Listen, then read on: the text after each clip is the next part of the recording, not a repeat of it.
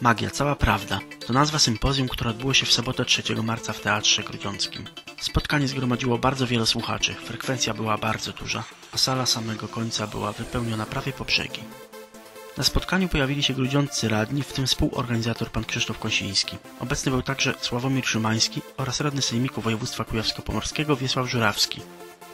W teatrze pojawił się także przedstawiciel ratusza, który objął swoim patronatem sympozjum, wiceprezydent Marek Sikora.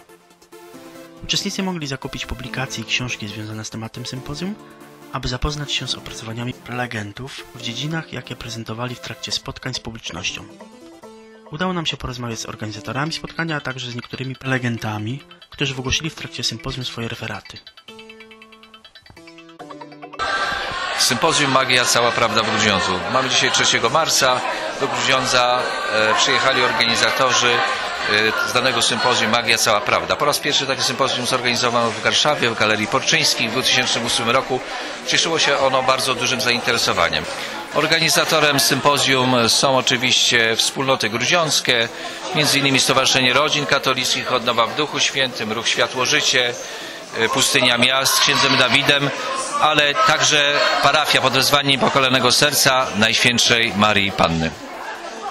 Oczywiście to sympozjum jest poświęcone magii, wróżbiarstwu, wywoływaniu duchów. E, uczestniczą w nim księża e, egzorcyści, uczestniczą także znani prelegenci, którzy dają swoje świadectwo życia. Świadectwo życia na podstawie swoich doświadczeń e, omawiają konkretne przypadki. Jeżeli chodzi o pewne zagrożenia duchowe, które są w dzisiejszym świecie, e, musimy, musimy poznawać tą wiedzę podstawową, musimy korzystać właśnie z tych podstawowych doświadczeń tych ludzi, którzy przeżyli konkretne przypadki w swoim życiu. E, Wiele takich zagrożeń jest, między innymi wywołanie duchów, tarot, uzależnienia różnego typu, szczególnie ludzi, ludzie młodzi, ale, nie ta, ale także i osoby starsze. Yy, oczywiście dzisiejszy dzień był także przepełniony taką e, strawą, strawą yy, intelektualną. Mieliśmy stoiska wyposażone yy, w szereg wydawnictw bardzo ciekawych, poświęconych właśnie tematowi magii, tematowi okultyzmu, a także e, tematowi związanym z, z. Frekwencja dopisała, co z jeden prelegatów nawet podkreślił. Frekwencja oczywiście dopisała i że ja myślę, że poza samymi ciekawymi prelekcjami, tak jak powiedziałem, były możliwość nabicia książek, materiałów multimedialnych. Można było zakupić e, publikacje unikalne, które nie zawsze są dostępne e, w księgarniach. E, Można było także skorzystać tego dnia z konsumpcji. Pierwszym z prelegentów, spotkanie z jakim rozmawiam, jest pan Andrzej Rona, prezes Ogólnopolskiego Stowarzyszenia TAFA, autor publikacji z zakresu okultyzmu i sekt, który w dniu dzisiejszym wygłosił referat na temat o bioenergoterapii, homeopatii i nie tylko. Dzisiejszy świat proponuje człowiekowi wiele kolorowych propozycji. Propozycji, które bardzo łatwo e, gwarantują zdrowie, urodę, tajemną wiedzę, nadzwyczajne zdolności. Jak pokazuje bolesne doświadcze- doświadczenie tysięcy osób, a również praca duszpasterska chociażby księży egzorcystów, jest to e, droga błędna. To znaczy jest to tylko bardzo ładne opakowanie okraszone e, quasi naukowością, natomiast prowadzące ludzi do wielkich dramatów osobistych, życiowych, psychicznych, duchowych, y, moralnych i na wielu różnych płaszczyznach. I ta konferencja, czy całe sympozjum miało zadanie za pomocą świadectw osób, które to dźwigały przez lata na swoich barkach, czyli osób, które nie z książek znają problem, ale z doświadczenia oraz tych osób, które tym od strony publicystycznej, czy naukowej, czy duszpasterskiej się zajmują, zajmują za pomocą konkretnych przykładów sytuacji ostrzec, nie straszyć, a ostrzec współczesne społeczeństwo, byśmy mieli być bardziej krytyczni, mniej naiwni, byśmy w duchowości, byśmy w swoich wyborach nie kierowali się tylko propagandą, tylko obrazem, tylko marketingiem, ale umieli to wszystko przecedziać, by nie tylko za coś, co jest dla nas, dla naszych dzieci złe, krzywdzące, nie zapłacić ciężko zarobionymi pieniędzmi, bo za miesiąc będziemy mieli nowe, ale nie zapłacić swoim małżeństwem, przerwanymi studiami, odejściem do sekty z problemami psychicznymi czy problemami duchowymi. Często magia, tak w cudzysłowie, czerpie z nauki, czasami myląc, dodając, insynuując. Y, Na tym to polega. Jeżeli tam są jakieś słowa niezrozumiałe dla odbiorcy, y, robi się wrażenie, że to jest naukowe. Zresztą jest taki y, pewien zabobon, że w referacie, w wykładzie im więcej niezrozumiałych słów, tym bardziej to jest naukowe, tym bardziej poważne. Można hipnotyzować tym wszystkim. Jednakże jeżeli weźmiemy prawdziwą naukę i przez sita met porządnej metodologii zaczniemy tę magię czy zapewnienia o nadzwyczajnych zdolnościach przecedzać, okaże się, że to jest przypadek, hosztaplerka, wyuczenie, praca nad swoim organizmem i tak dalej. Niemniej jednak w niektórych sytuacjach rzeczywiście spotykamy się z rzeczami, których nauka wytłumaczyć nie może, ale tu przychodzi z pomocą teologia, czyli inna dyscyplina naukowa, tłumacząc to, w niektórych przypadkach podkreślam, działaniem bytu duchowego, bardzo potężnego, bardzo inteligentnego, złego ducha Y, i o tym bardzo wyraźnie mówią księża egzorcyści. E, W dzisiejszym wykładzie odwoływał się Pan do prędkości światła. E, Nie boi się tutaj Pan swoistego rodzaju mm, konfrontacji z naukowcami? Ja wręcz nawet prowokuję tę konfrontację y, pewną przesadą, pewną retoryką, czasem, co niektórzy stawiają mi zarzut. To, jakby nie patrzeć, jednak wciąż e, niepoznany jak do tej pory świat. E, Były różne teorie fizyczne, w tej chwili już mamy kwantowe teorie, a nawet tak zwane teorie strun, bardzo skomplikowane dla potencjalnego i zwykłego odbiorcy, właściwie niezrozumiałe dla większości. Może mamy.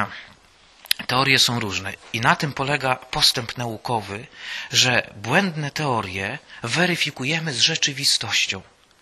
I dochodzimy do wniosku, że nie ma eteru, że fale elektromagnetyczne mają inną naturę, dlatego nie potrzebują e, eteru. Nie ma cieplika, flogistonu i tak dalej. I nauka wielokrotnie weryfikuje to.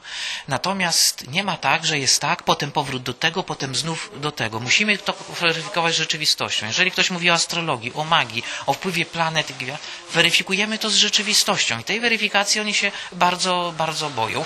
Obiektywnie weryfikujemy, to znaczy niezależnie od tego, kto zapewnia. Jeżeli badamy dane statystyczne, jeżeli to jest duża populacja, jeżeli pytamy o przyczyny, o zależność przyczynowo-skutkową tych planet e, od, od losu takiego czy losu takiego, im więcej precyzyjnych pytań, tym, tym te wszystkie super sukcesy rozpływają się w nocy i we mgle. Może w pewnym sensie też i dlatego, że już w tej chwili fizycy, naukowcy dostrzegli, że jako ludzie nie będziemy w stanie nigdy poznać dokładnie praw rządzących naszym światem, że musi to zależeć od czegoś innego, od jakiejś siły dla nas niezrozumiałej. No, to już jest y, granica fizyki, kosmologii, metafizyki i teologii. Rzeczywiście dzisiejsze e, pewne teorie e, fizyce kwantowej, mówię o niektórych, e, postulują istnienie takiego bytu. Są też teorie, które hucznie, choć- chociaż profesora Hawkinga, e, określały, że świat powstał z zera, z niczego, z zerowej energii, tu jest Bóg niepotrzebny. Niemniej jednak jest to pewna hosztaplerka i tam się okazuje, że tam są dwie składowe energii, y, taka i taka, które w sumie dawały zero. Teoria w ogóle nie odpowiada na pytanie, skąd się wzięła stała grawitacji, dlaczego jest taka, jaka jest, a nie inna y, y, i tym podobnie. Natomiast podkreślam, że to są wszystko z naukowego punktu widzenia teorie, które dopiero trzeba weryfikować. Dobrze, dziękuję bardzo. Pani Małgorzata Nawrocka, autorka powieści antymagicznej Anhar. E, witam. Czyli co, wojna o Joan Rowling, tak? Możecie Państwo spytać, czy naprawdę się ludzie nie mają czym zajmować? Y, czytają dzieciaki książki typu Harry Potter, czy Zmierzch, Stefani Meyer o wampirach, czy naprawdę już nie ma ciekawszych tematów niż wyrywanie książek z rąk dzieci, które i tak przecież mało czytają? Y, Odpowiedź jest następująca. Moim zdaniem lektury tego rodzaju nie rozwijają czytelnictwa ani w Polsce, ani na świecie, tylko kanalizują energię szlachetną młodych ludzi, którzy mają ideały, mają marzenia, w stronę zupełnie ślepą, w zaułek. Bo po co fascynować się realnym okultyzmem? Albo po co uprawiać idolatrię wampirów, kiedy można zainwestować w intelekt, kiedy można poczytać Louisa i Tolkiena, genialnych autorów, którzy również wykorzystują motywy magiczne, kiedy można sięgnąć po Dostojewskiego, po klasykę i być wielkim człowiekiem. E, Generalnie wyobrażenie o wychowaniu mam takie, dawać dzieciom najlepsze, e, smakowite, to, co je rozwija. Y, Wyobrażam sobie, że świat po mnie powinien zostać lepszy i piękniejszy, dlatego eliminuję wszystko, co sprawia, że młode pokolenie jest infekowane, y, ogólnie biorąc byle czym. W pewnym sensie idzie pani pod prąd. E, uwielbiam iść pod prąd. E, Uprawiam wolność myślenia. Na swoim wykładzie zachęcałam właśnie, żeby e, kulturze wolności słowa, w której żyjemy i która może być dobrodziejstwem ludzi myślących, generalnie przeciwstawić kulturę wolności myślenia, bo wtedy tylko człowiek myślący jest w stanie dobrze i logicznie skorzystać z kultury wolności słowa. Inaczej bowiem jest połykaczem wszystkiego, łącznie, e, że tak powiem, ze szlamem, który się w tej wolności słowa zaczepi. E, Dlatego generalnie myślenie nie powinno nikomu szkodzić, ale który e, z wysokiej półki, również już e, kształtowane dzieci i młodzież na takich lekturach mogą tylko na tym skorzystać. No, wszyscy idą, że tak powiedzmy, na łatwiznę, prawda? E, No, ja też idę na łatwiznę. Jak mogę wstać o wpół do ósmej, e, to nie wstaję o siódmej, ale są rzeczy, o które warto w życiu powalczyć, a wychowanie młodego lasu, którym są dzieciaki i młodzież, zdrowego, pięknego i dorodnego, to jest cel tak szlachetny, że jestem w stanie wstać nawet o piątej rano. Dziękuję bardzo. Witam serdecznie. E, Tematem wykładu e, naszego spotkania właśnie w ramach e, Magii Całej Prawdy był temat związany e, magią w Biblii.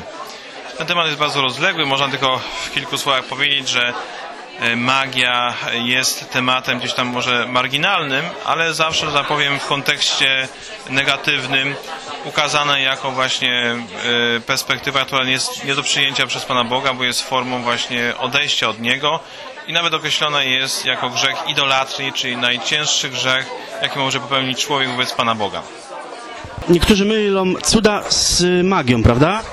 Tak, no to jest takie zjawisko powszechne, że jakieś elementy związane właśnie z zwyczajnością, cudownością myli się właśnie z, z działaniem, które jest wynikiem działania Boga. E, Może powiem właśnie, że kiedy każdy z nas e, sięgnie do Biblii, może tam zna- znaleźć właśnie przy okazji patrzenia na te różne katalogi grzechów, czy też powiedzmy tych zagrożeń właśnie e, magię, wróżbiarstwo, odniesienie właśnie do czarów, tego wszystkiego, co, co jest powiedzmy obrzydliwością w oczach Pana Boga.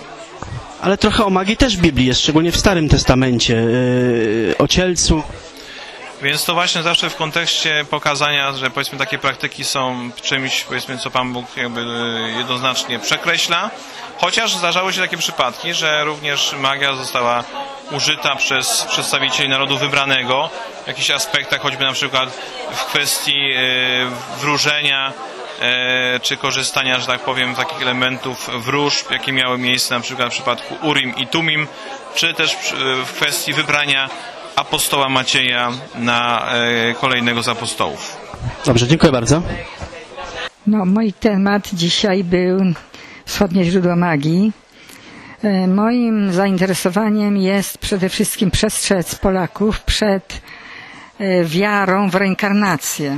I właśnie rano próbowałam wyjaśnić, skąd ta wiara wypływa.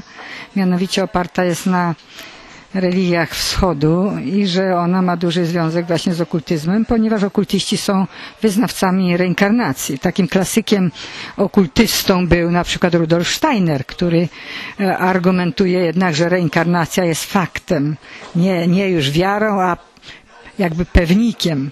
Więc właśnie w okultyzmie wiara w reinkarnację jest jedno z podstawowych przekonań e, okultystów. Dzisiaj to taki dosyć popularny, można powiedzieć, nurt, który promowany jest wśród wielu ym, różnego typu, no nie nazwijmy to religii nawet, tylko takich społecznych y, Proszę pana, jeżeli chodzi o wiarę w reinkarnację, to nawet pan Palikot wyznawał wiarę w reinkarnację. Nawet w Gazecie Wyborczej był wywiad, e, że on wierzy w reinkarnację i że sprawa aborcji to już żadna sprawa, bo dusza wchodzi dopiero jak ciało jest gotowe, czyli jak ciało wyjdzie z łona matki, dopiero wtedy dusza wchodzi. Więc jeżeli już pan Palikot wierzy w reinkarnację, to co mówić o ludziach, którzy powiedzmy mają mniejszą wiedzę filozoficzną wschodnią czy inną. Jest faktem, że proszę pana, wiara w reinkarnację jest e, drogą do rasizmu. To się e, utrwala mistyczny rasizm. Bo widzi pan, rasizm, jaki Niemcy chcieli e, ut- utrwalić, teoria o nadczłowieku, opierał się na jakby przekonaniu, że ciało powiedzmy nordyckich ludzi jest wartościowsze. Czyli były jakby argumenty biologiczne. Teraz te argumenty biologiczne e, nie, nie ma podstaw biologicznych, żeby móc powiedzieć, że jakiś naród ma inną jakby naturę, drugi naród inną naturę.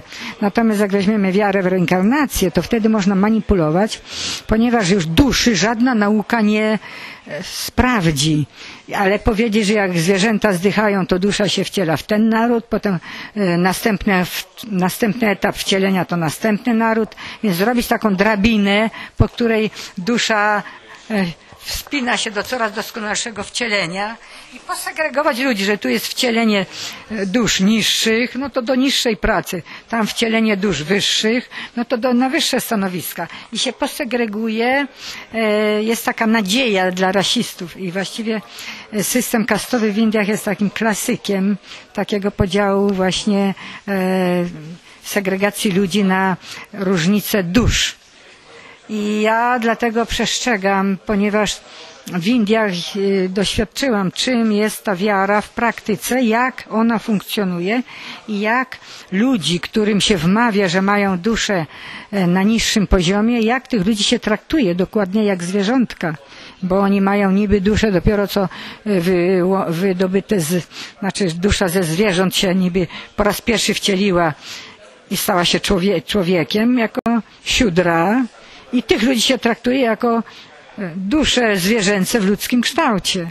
I tych ludzi się rzeczywiście dyskryminuje, jak gdyby byli zwierzętami, że od nich jakieś nieczyste energie e, promieniują i od nich się ludzie z wyższych kast izolują, jakoby od nich mogli się skalać swoje dusze, prawda? I dlatego ja bardzo, e, bardzo się boję wiary w reinkarnację w Europie, że to Skąd, skąd, siostra, skąd siostra myśli, bierze się taki pęd do powielania życia, do wielokrotności? E, Ze strachu przed śmiercią? Nie, tutaj jest polityka, a ludziom można ze strachu czy nie strachu, ale e, polityka idzie za tym, żeby jednak e, obalić chrześcijaństwo, ponieważ chrześcijaństwo stawia prawo braterstwa i równouprawnienia, a jest bardzo trudno e, zaspokoić potrzeby wszystkich ludzi, kiedy miliardy ludzi teraz na świecie i ci, którzy planują jakąś globalną społeczność, czyli jakąś jedną społeczność świata i jeden rząd na cały świat, jest problem e, na bazie chrześcijańskiej ustawić tak, żeby była jakaś mm, równouprawnienie. I teraz nawet deklaracja praw człowieka się troszeczkę zmienia w tej chwili, e, bo to równouprawnienie jest niewygodne. Więc jak weźmiemy wiarę w reinkarnację, to łatwo, jeżeli ludzie już uwierzą, to łatwo się pogodzą z tą dyskryminacją, że no jeżeli mam taką duszę, jeżeli to jest prawda, że ja mam duszę, e, która była zwierzęciem w, poprzednim wcieleniu, no to ja się zgadzam na pozycję najniższą, a liczę, że po śmierci się wcielę wyżej i kiedyś stanę się na wyższym poziomie, jak będę posłuszna w hierarchii społecznej. I dlatego ten, ten, ta reinkarnację jest jako plan polityczny. Natomiast, że ludzie to, ten plan chwytają łatwo, to to, co Pan mówi, jest lęk nie tyle przed śmiercią, ile przed unicestwieniem. Bo jeżeli wiara Przed zapomnieniem w pewnym sensie. no ja, ja mówię, ktoś, kto ma ateistyczny pogląd na świat, ateiści, zastanawiając się, co dalej, jak się życie zakończy, co dalej, z punktu widzenia ateistycznego, nic, unicestwienie, a tak to jest nadzieja, że jeszcze raz będę żyć. Na W pewnym sensie ten ateizm jakby się anuluje, wierząc w taką reinkarnację. Nie, nie, nie, a nie anuluje, bo to nie jest wiara w Boga, tylko w to, że dusza jest energią, a w przyrodzie dusza nie ginie i ta, i ta energia przeobraża się w inne kształty. Więc po prostu odpada wiara w Boga, tylko w istnienie duszy jako jakiejś energii, która jest nieśmiertelna. Dziękuję bardzo.